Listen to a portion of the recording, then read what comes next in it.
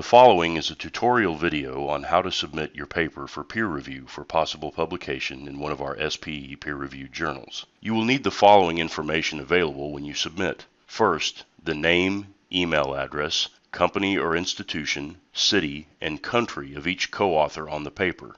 Remember that co-authors cannot be created without a unique email address. You will also need any necessary transfer of copyright forms. In other words, any forms that were not already submitted for a meeting. You'll need a cover letter or another statement about why you are submitting your paper for peer review by that particular journal. Finally, when prompted, select up to eight of SPE's technical discipline codes along with one to five additional keywords that describe your paper.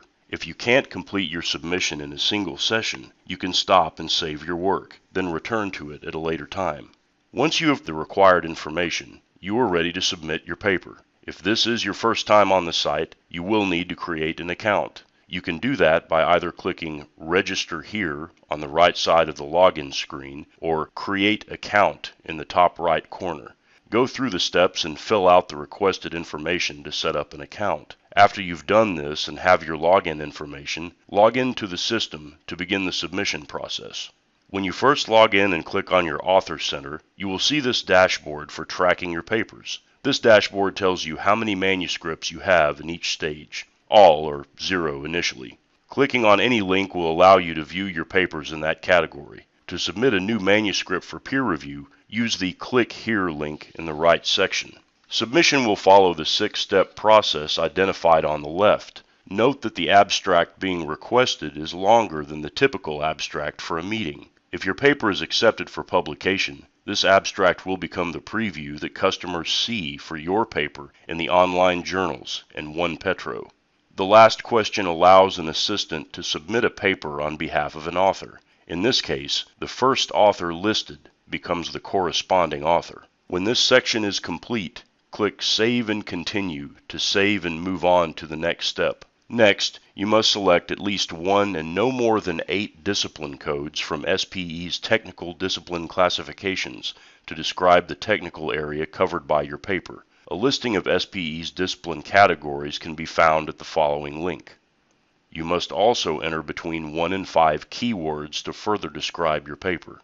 If your paper is accepted for publication, these discipline codes and keywords will be displayed online to assist readers in understanding the topical coverage of your paper. When this section is complete, click Save and Continue to save and move on to the next step. To enter additional authors, type their email address and click the Find button. If they are in the database, the fields will be populated with their information. If they have not previously been an author or co-author or reviewer since July 2009 in SPE's current peer review system, you will need to supply at least the required fields name, email address, company and institution, city, and country. After you have entered the data about a co-author, click Add to My Authors. This will move that person to the top area of the page, below your name. You can repeat the process for as many authors as needed. The question at the bottom of the page is designed to assist SPE in determining whether you or any of your co-authors may be eligible for the Cedric K. Ferguson Medal, which recognizes young professionals. Click the appropriate yes or no button, and if any authors are aged 35 or younger, enter their names in the box. When this section is complete, click Save and Continue to save and move on to the next step. Use the cover letter to describe what is innovative about your paper and why it merits peer review by this journal. Please be specific. Simply stating that the paper should be reviewed, quote, because it is a good paper, unquote, is not sufficient. Many excellent meeting papers are poor candidates for peer review. You can type in the box or upload a file. If your paper was prepared for an SPE, OTC, or IPTC conference, please enter the conference paper number in the format shown in the box. Enter the name of the conference, abbreviations are okay, and the first day of the conference. This information is typically found in the provenance blurb, the small text, at the top of your meeting manuscript. If your paper was not prepared for an SPE meeting, leave the space blank for the meeting name. Then answer the following questions. Has the paper been presented anywhere other than an SPE conference? Has this paper been published elsewhere? Has this or a substantially similar version of this paper been submitted concurrently or previously for peer review in another journal, including other SPE journals? And finally, have all authors supplied their transfer of copyright forms? When you've completed these sections, click Save and Continue for the next step. Now you're ready to submit your paper. If your paper includes a large number of figures or equations, you may get a message that your manuscript exceeds the allowable number of embedded figures, and you'll be asked to break it up. You can easily use your word processing program to separate the document into two parts, then upload both with a file designation of main document. They'll get put back together in the PDF for review. It is not necessary to extract the figures to separate files or change anything. Just break your document into two or more pieces. The system creates both a PDF and an HTML version of your paper. Please note that while it is available in the drop-down menu, we ask that you not submit text or LaTeX files because they are not compatible with the current peer review system. When you upload separate figures, images, and tables, you will be given the option to enter a caption for them. This is not mandatory. You can click Save if you don't want to add a caption here.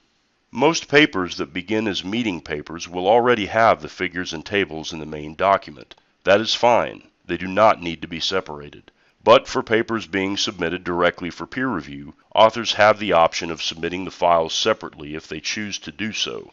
The final step is to review all data entered, check the PDF generated from your files, which will be used for review, to ensure that it converted correctly and when everything is okay, submit the paper. The Submit button will be grayed out until all of the data are correct and you have viewed your PDF. For each section there will be a red X or a green check mark indicating whether that section is complete and correct. Click the Edit button to be transferred back to the first screen. After you make the correction and click Save and Continue, you'll be back at step 2.